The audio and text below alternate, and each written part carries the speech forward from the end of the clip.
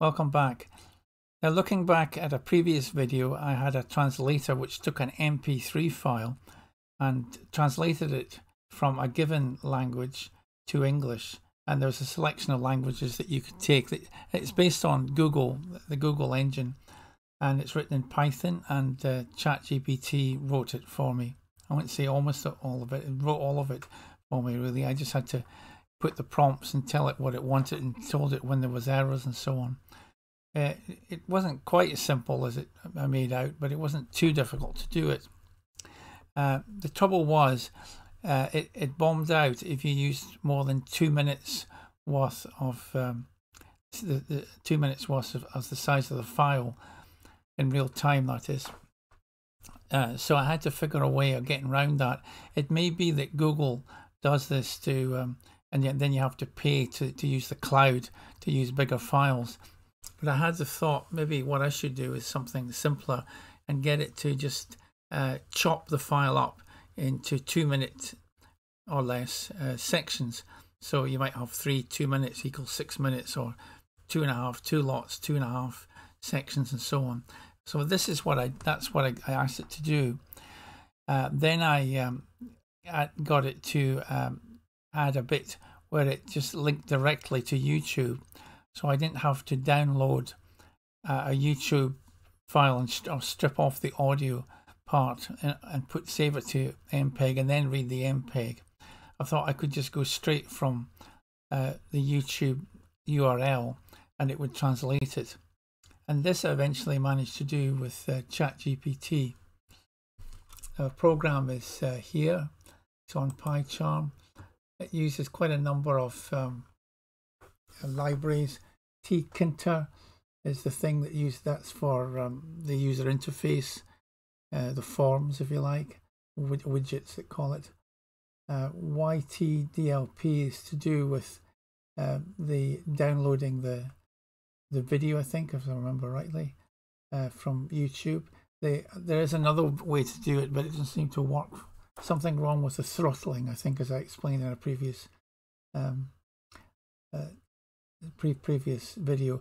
It's also got speech recognition, of course, to recognize the speech um, in whatever, and then it um, in whatever language, of course, that you you you choose, and then it translates it into using Google Translate into English.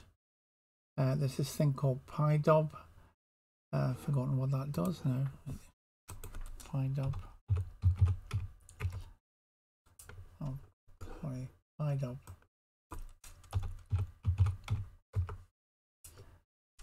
Uh, yeah, it manip manipulates audio, uh, WAV files, and so on, MP3s. And PYTTSX3, um, forgotten again what that does. P, not um, very good acronym, is it? PYTTSX3. Uh, oh, that's a text-to-speech converter, of course. So yeah, it will speak the uh, the, the, final text. And uh, so this is the program. It's actually quite a long program. It's quite complicated, and it didn't work the first time. It took maybe oh I don't know three or four goes at it, and then of course it bombed me out because I I'm using the free version of ChatGPT. These are the languages it does: French, Spanish, German, Ukrainian, Russian, Italian, Chinese, Japanese, Arabic, English. I haven't asked it if it does other ones, but those will do me for the time being anyway. And uh, that's the rest of it. It's, it's not enormous, but it's it's perhaps trickier than you would imagine. And I've compiled it, so I don't need to go through this. Um, I'll put it in so it's YouTube Translate. And this is the program should pop up in a minute. There it is. So what you do is you select your language. That's the, rate at which it speaks. 150 is reasonable. Um, select the voice, um, male or female, whatever. Put the URL in there, and then it, it'll. There's a progress bar here that'll split it up into sections and tell you when it's doing it. So uh, take a little bit of time to show you this because you can't kind of stop it halfway through. So I'm going to pick um, found this French video. Um, so I'm going to put that in. Now hopefully they won't do me for copyright. Il l'a partagé avec le magazine Oops. à cette période éprouvante. Thomas Dutronc a partagé un... Il a déclaré, malheureusement, ma mère n'a pas eu l'occasion d'écouter mon... So that's all in French. I'm just going to stick the, um, so you want to understand what that's saying, so just stick this in here and then download and process.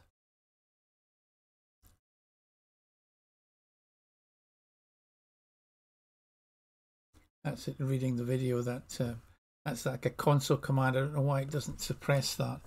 I don't know exactly what the reason for that is, but um, it's a Python thing. So it might take a little bit of time to to do all the bits because it's got a number of things it has to do. And we should see eventually the original text here in French and then the translated one in English down here. It's set to French, of course. Um, On June 11th, oh, the death of Francois Hardy deeply affected Thomas Dutronc, leaving a great void in his life. He has difficulty falling asleep, as he shared with ICI Paris magazine in an interview with JDD, the singer expressed his sorrow in the face of this trying period. Thomas Dutronc shared that he said unfortunately my mother did not have the opportunity to listen to my last album. He said unfortunately my mother did not have the opportunity to listen to my last album, but she remained my number one fan, although Thomas Dutronc can count on the precious support of those around him and his father Jacques Dutronc. He has difficulty falling asleep. He confided that I need to know that I am here, not far from him. Speaking of his father, sleepless nights are increasing, affecting his daily life and his health. Questioned by Le Figaro about his condition, the singer, who has reservations about his love life, admitted that he had not slept all night. The loss of his mother Francoise Hardy has deeply affected his physical and mental well-being. Memories of they pursue him relentlessly the words exchanged the text messages received during these concerts and the last moments spent together remain engraved in his mind. Mourning is a long and complex process and Thomas Dutronc still seems far from emerging from it underlines the magazine ICI Paris. Thomas Dutronc shared a particularly moving moment that he experienced with his mother when they watched Roland Garros together shortly before she was sedated. I took her hand she smiled at me he confided the day after his death he honored an engagement on stage with Pierre Richard as planned it was a request from his mother I did not cancel it because that would have been her wish he explained show hosted by Thomas Sotto for him this decision represents a tribute to the spirit of Francoise Hardy a woman deeply attached to stopping life. And there it is. Um, so there's the French uh, Juin Dernier, the death of Francois Hardy. Um, and there's a translation down there. I do I can't save it to a file, but if you want to, you can just uh, select it and cut and paste it into a file. I didn't bother putting extra bells and whistles on it. Um, one thing you will notice is actually it has punctuated this reasonably well, even though it, when it spoke it, it didn't come out that well, but it has put full stops. Um, and down at the bottom is a progress bar because it's doing it in segments. Uh, so there's two segments, so that means the the, the uh, file is at least um, well, it's anything less than four minutes because each each segment is uh, two minutes long. So I'm going to come out of that, and then I'm going to show you something quite interesting. Let's hope hope that the um, copyright thing doesn't come up.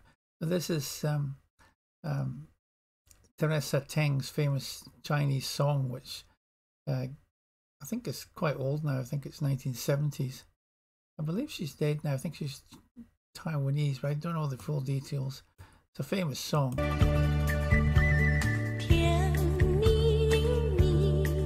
See the translation here. And I won't play too much of it. If you want to listen to it, it's uh, called uh, Tian Mimi. Yeah by Teresa Teng. Now I'm going to uh, try and translate that. It's got a translation there, so I'm going to go to my YouTube Translate. It should boot out. Now I'm going to put Chinese in here. It obviously defaults, I'm assuming it defaults to Mandarin. Uh, Taiwanese uh, speak Mandarin as a version of Mandarin, more or less. Um, and I'm going to get the URL of that and then paste it into here. And let's be interesting to see what it comes up with. So it should be as sweet as honey, your smile as sweet as honey when it starts, when it eventually does it.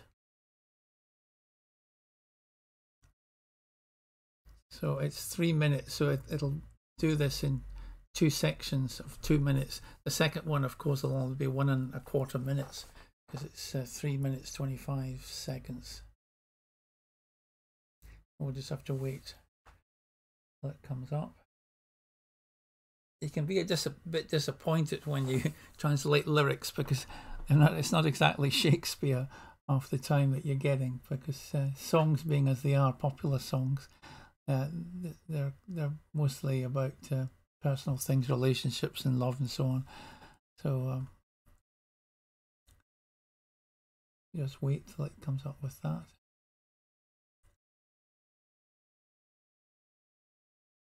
I'm going to turn the volume down because I'm going to try and follow it when it starts to speak. And then, so the, it should say something like as sweet as honey, your smile as sweet as honey to begin with. If you're a Chinese native, a Mandarin native speaker, of course you'll know straight away whether this is right or wrong.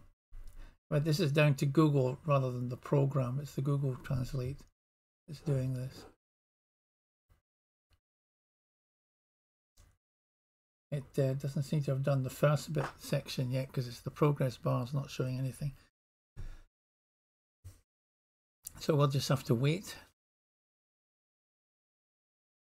Sweet, your smile is sweet, like flowers blooming in the spring breeze. Where, where have I seen you? Your smile is like this. I can't remember my phone. Lead the way with love. Use your strength. I have seen you in my dreams. Your smile is so sweet. It is you. You are you in my dreams.